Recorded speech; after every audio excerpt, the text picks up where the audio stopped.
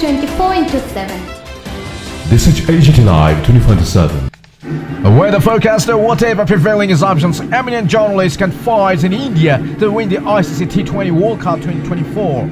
29 June 2024 Saturday has been a red letter day in the history of T20 World Cup being played at the Kennington Oval, Barbados. India vs South Africa T20 World Cup remains a high voltage final with the both teams unbeaten in the tournament so far. Blue-Tide men have not clinched an ICC World Cup title since 2011, when the opposition South Africa also never attained the prestigious title of World Championship. When the entire world has been witnessing this vibrant T20 World Cup, eminent journalists of this subcontinent, India, Shekhar Dutt, former Telegraph correspondent, uh, and uh, the veteran journalists, like millions of patriots, have confided in India to win the World Cup Championship title tonight. India have won the toss and elected to bat first. Captain Rohit Sharma has decided to bat without any delay, when it may be a great advantage with his flamboyant squad tonight. Well, let's keep watching the match for now, and also the yearning of a patriot like Shekhar Datta from the TripuraInfo.com, Agatla Tripura, India. B report, AGT Live 24/7. Bharat বনাম south Africa এইটা আপনি কীভাবে দেখছেন এবং কার জয়ের সম্ভাবনাটা বেশি মনে করছেন আপনি?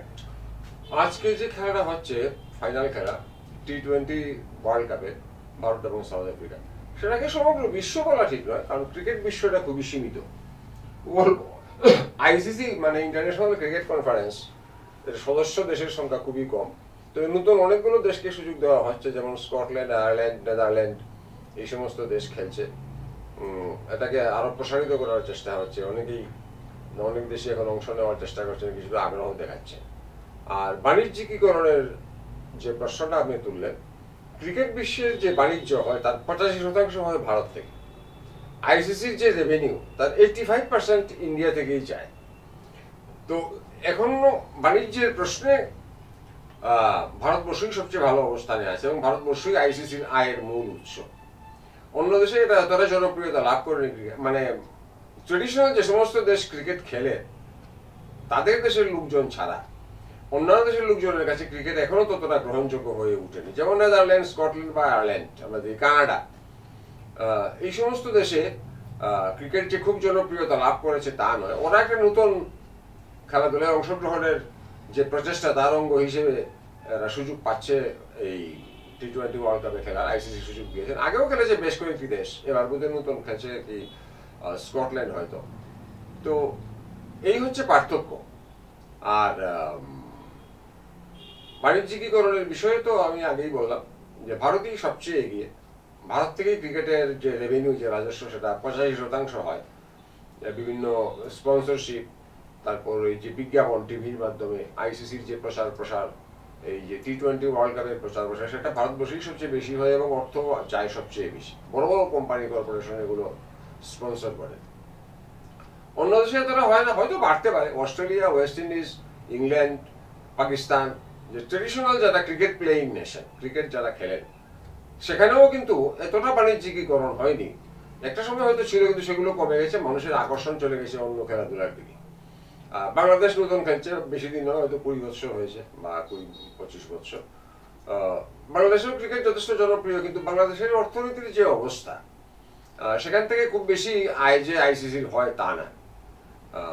ভারতবর্ষই মূলত শিট অ্যাঙ্কর বলা যায় প্রধান অবলম্বন।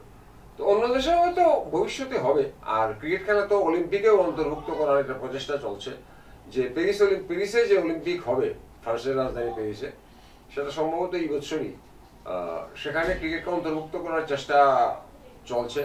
শেষ পর্যন্ত যদি ইন্টারন্যাশনাল অলিম্পিক অ্যাসোসিয়েশন সেটাতে রাজি হয়, তাহলে সেটা হয়ে যেতে পারে। সেই ক্ষেত্রে ক্রিকেটের জনপ্রিয়তা অবশ্যই বাড়বে।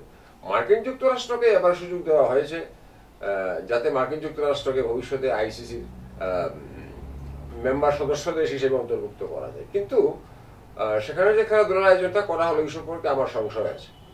সেখানকার মাঠগুলো বা পিচগুলোর যে চরিত্র সেটা খুব বিজ্ঞানসম্মতভাবে তৈরি হয়েছে বলে মনে হয় না।